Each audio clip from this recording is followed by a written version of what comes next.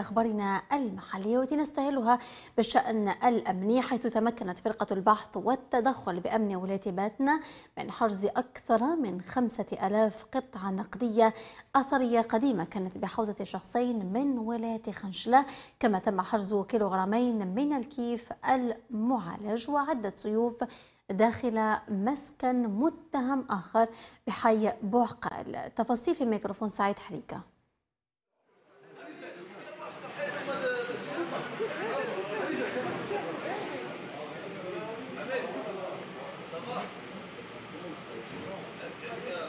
تم توقيف المعنيين ببلدية بولفريس وبحوزتهما 5020 قطعة ومبلغ مالي يقدر ب 27500 دينار جزائري. في آه، نفس السياق قامت فرقة آه، قمع الإجرام بتوقيف شخص يبلغ من العمر 37 سنة بحي بوعقال الثالث بباتنا وبعد تفتيش مسكنه العائلي تم حجز 2 كيلوغرام فاصل 35 غرام من الكيف المعالج بالإضافة إلى مجموعة من الأسلحة البيضاء كما ترون ممثلة في آه، ساطورين سبع